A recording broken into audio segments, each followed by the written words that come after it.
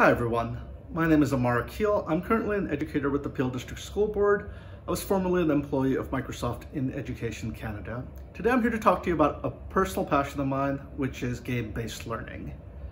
My master's thesis was on game-based learning, video games in the classroom in Ontario to be specific, and that is something I'm super passionate about and, and have been lucky enough to get experience with over the last several years.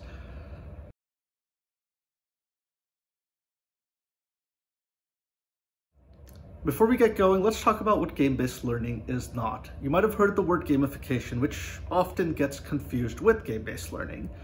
Gamification is using video game traits or game traits to manage other systems like classroom management, for example. So if your students are really good, you give them points, and if they get a certain amount of points, they get a prize or a privilege like a pizza party. That's gamification. Today we're here to talk about game-based learning, which is the use of video games to drive forward curricular goals.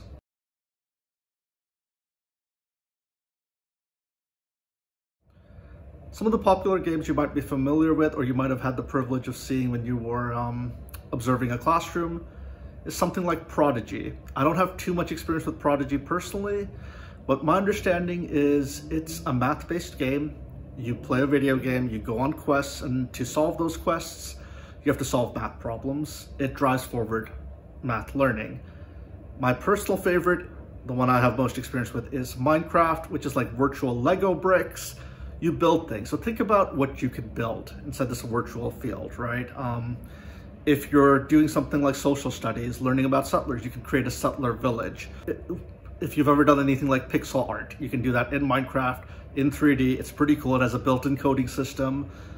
It's the use of that video game to drive forward curricular goals. It could be something like Tomb Raider, if you're familiar with that, playing that to create narrative prompts. So have students play the video game, then go write about either what they saw or maybe continue the story in their own way.